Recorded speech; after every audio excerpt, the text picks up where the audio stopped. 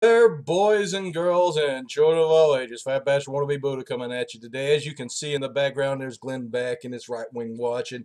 Well, I have I noticed I haven't been talking about politics that much. I've been mainly streaming a lot of Hearthstone, and last night was the first night I figured out how to um, stream Civ properly. I got several things of Civ on my desktop that are basically blank screens. I got almost four hours of just tape that is just me talking. Unfortunately, there's no no pictures behind it, so I can't use it. But anyway, what's very interesting about that is the different communities. I hate to tell everybody something, but Hearthstone is basically Candy Crush. That's what it is. I love playing it. It's a free game. I'm not going to spend a dime on it, but it's Candy Crush. It isn't that complicated. If you got the cards, you can win. If you um, properly prepare your deck and all you got to do is just go online and get a pre-made deck. So what's hilarious about the two communities is I figured out how to post on Reddit just recently. And don't worry, I'm gonna get to the politics in a second. But I figured out how to post on Reddit, so I've been posting a lot, um, lot on Reddit. And the the Hearthstone people hate me. They absolutely hate me. My my videos are crap. I'm crap. I'm fat. I'm ugly. I'm worthless. I don't know how to play this game. It's re rather really sad. But then I remind myself they're 15 year old kids playing Candy Crush, and th that's what they are. What's very interesting is last night I um, posted my first um, Civ video up, and I posted it to one of the little forums inside uh, um, for Civ. And I expected that community to rip me to shreds because I know how to play Civ. I'm actually okay at Civ. And the video quality that I put forth last night was absolutely atrocious when you compare it to someone like Mad Gen or Quill 18 or Golf Freak, or there's a thousand other people that are doing great Let's Plays of Civ. But, uh, but it didn't happen. They didn't rip me, rip me to shreds. They were actually quite supportive of me in my first effort at recording Civ. Now, the Hearthstone kids, they hate me. But they're playing Candy Crush for kids. Cards. What it is. Anyway, the day I was I was recording or trying to figure out how to record and fix some of the videos and see if I could salvage some of it. And in the background, I had Alex Jones on and doing my right wing watch for the day, my right wing uh, videos. I, I, I can't, I'm really worried about copyright infringement, so I'm not going to post a um, stream of um, Alex Jones, which I thought might be really funny, me commentating right over what he was saying. But he's basically implying that there should be a revolution, that we we should overthrow the government, and and there there's something there's very something peculiar happening in the right wing consciousness that I, I, I wanted to exemplify the paranoid style. And then I seen this right wing watch right here, and um, the Glenn Beck was talking uh, um the basic talking points of Alex Jones. And let, let me play it for it and then commentate real quick on it. Let's let's see what Beck's got to say. This is his morning show that he talks to his advisors and I would really love to be in that in that room. Wouldn't you really love to have to go to the ball uh, uh, to a meeting with a guy dressed with a cross on his hat? And let, us see what he has to say. Let's see. Northwood. Anybody heard of that? This is absolutely amazing. We're getting into the um, Cuban Missile Crisis, and we need to go in and we need to hammer Cuba. Hammer Cuba. So, the Pentagon and everybody comes up with Operation Northwood which is get some MiGs, paint them Cuban, and go in and bomb the United States. Our pilots using MiGs, false flag, it went all the way up to the president. And they presented it to him and said, Mr. President, you know we have to act. You know that this is a danger to us. We have to act. Mm. It was Kennedy that said, are you out of your mind? No, we're not doing that. Now, is anybody sitting here telling me that Chris Christie or Barack Obama would say that? If it served their purposes, ends justify the means, I'm not sure Operation Northwood doesn't happen. I love that. I just love that clip because you know this false flag, this op Operation Northwood is uh, um, favorite talking point of a certain element in the society that believes 9-11 was an inside job. That's right. There was a secret cabal to blow up the Twin Towers. I wonder I wonder if Glenn Beck is trying to do a little dog whistles that you know, that he supports that concept right there, but he can't really say it. The whole right wing is sort of gone off the rails. This is mainstream talking points as far as the conservative movement is concerned currently. That the United States government's presidents itself would absolutely attack its own citizenry in order to extend the the the, the great control that they have over people.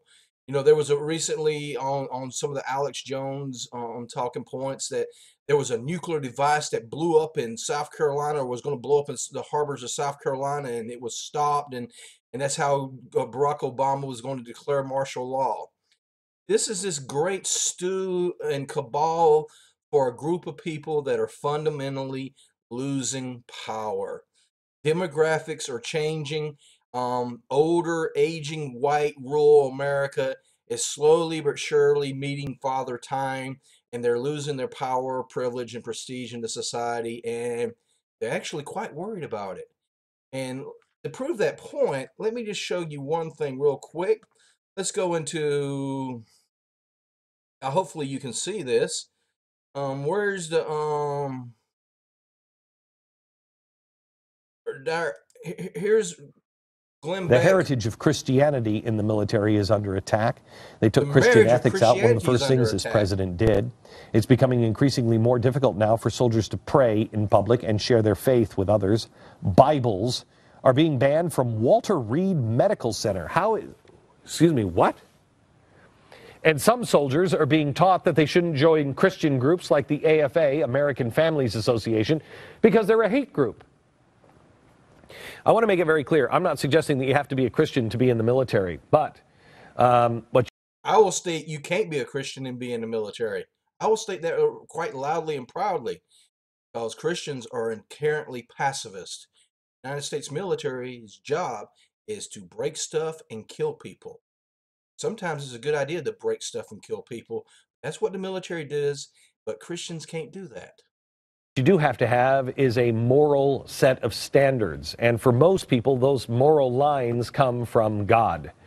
God gi- Okay. gives us moral lines, natural rights, and natural laws that everyone can agree on.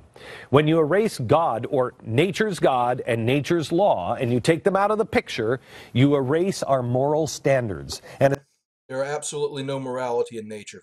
There's absolutely no morality in nature. That is a human concept predicated upon empathy. Morality is. And maybe some higher level um, mammals can show signs of morals and stuff, but the but the actual laws, that's a human construct. Society with no moral compass will not last. Now, I want you to combine what you know about the dissolving of our ethical and moral structures with this new piece of information that came out this weekend.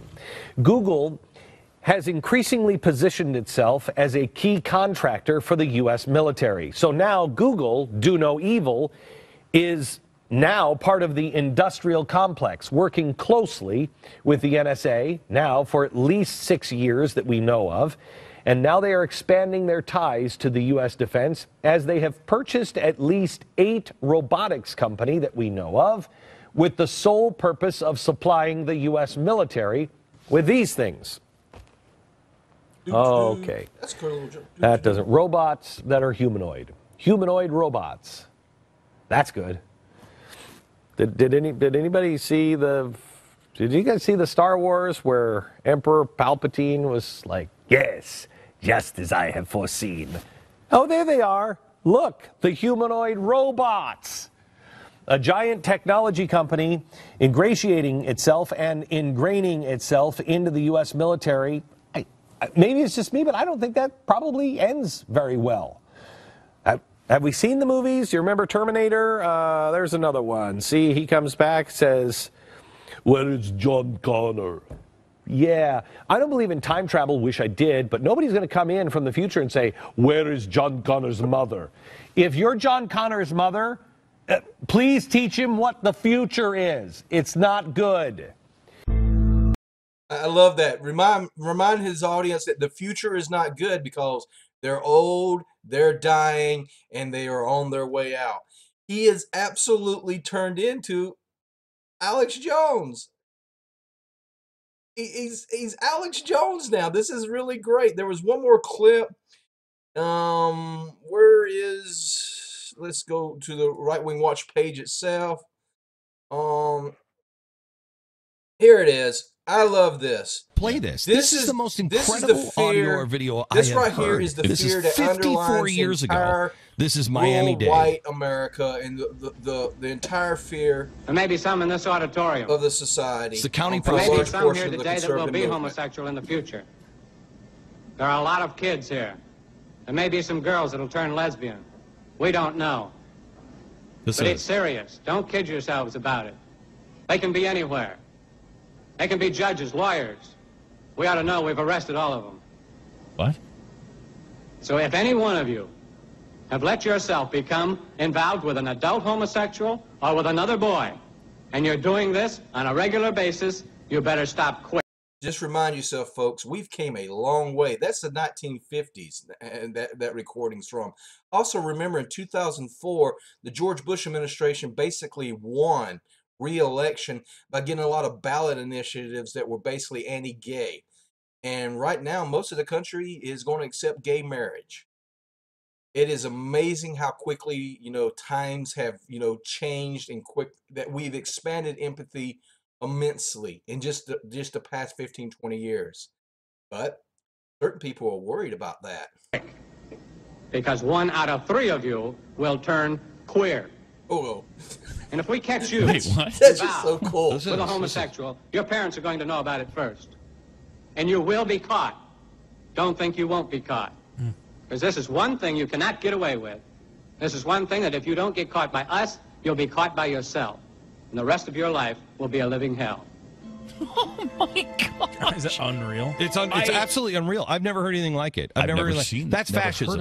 I'm noticed that they haven't ever heard anything like that and they are supposed to be history buffs that for a large portion of the society was mainstream american thought about what homosexuality was alike. There's a whole bunch of ideas that were deemed uns- uh, unspeakable and outside the mainstream. And the people that support those ideas are now pretty much dying and slowly aging of that. That is heterofascism. Was he That's saying what that is. They've arrested people because they're homosexual. Yes. Yeah. Yes. yes Sodomy was against the sodomy was against the law. sodomy's still illegal in a lot of states in this country Oh, South. yeah, yeah, that's true. Yeah. So, That's true. um, uh, so Yeah. that is heterofascism right there. That's what that is. Now, tell me that the same is not going to be said 50, well, let's make it 65 years because we're on this road in the other direction. In 65 years, if that's 55 years ago, in 65 years from now, will the same be said of the left who's saying, let me tell you right now, if there's any of you caught with any of your religious material, is there any of you caught the saying that a marriage between a man and a woman is right? That a family should be made of a mother and a father? You're not going to get away with it. We're headed down the same track, except in reverse. Don't do it. This was wrong. This was wrong. And everybody who hears that eh, hopefully has the same reaction. Oh my gosh, that guy was a monster. But ask yourself are you becoming a monster in the opposite direction? There it is, right there, boys and girls. The secret, dark, dark fear that drives the conservative movement. Um, and that is they're absolutely terrified that everything that they did, all the little groups that were out, going to happen to them. That's the deep, dark fear. But just notice how much he turns in on that paranoid style. He absolutely marinates his audience in it this is you know this used to be relegated to the alex jones or the william coopers. This is now mainstream conservatism. This is the old bircher talking points is now on the national stage and is the core representation of the conservative movement in america. You know alex jones is mainstream america right now as far as the conservative movement is concerned.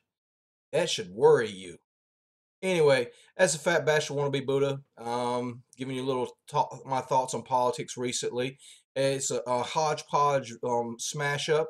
I'm curious if this, hodgepodge smash up um, style works. Hope you got something out of that. This is the fat bastard wannabe Buddha. Have a good day.